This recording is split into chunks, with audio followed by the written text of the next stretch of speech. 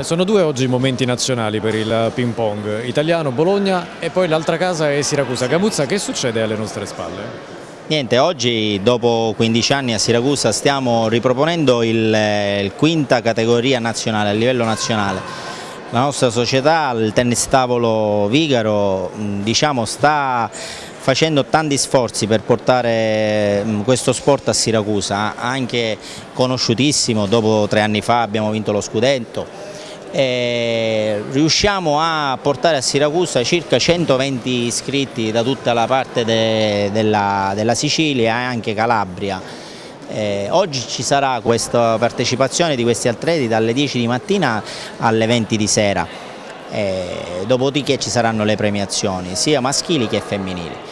Eh, è un orgoglio da parte nostra ad avere questa assegnazione di questo torneo da parte della federazione italiana perché non è facile avere un torneo nazionale in una città.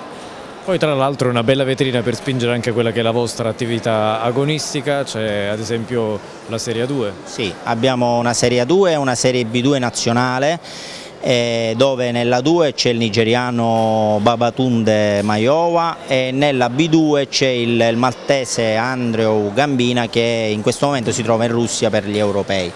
Eh, è stato veramente un acquisto da parte nostra ottimo anche perché è un giovane promettente.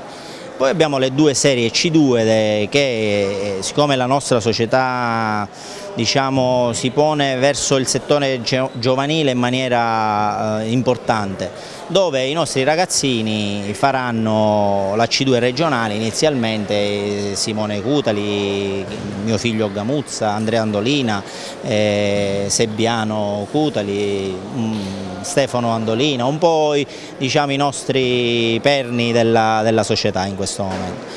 La palestra Gradina diventa l'impianto di casa? Come A2 sì, invece eh, quest'anno in Viale Santa Panagia la società Vigaro ha creato la prima palestra in Sicilia solamente di ping pong. Cioè noi abbiamo tre allenatori, fra cui il nigeriano e il maltese Gambina in più l'armena Lusinè eh, che per il settore giovanile diciamo, ha, è eccellente.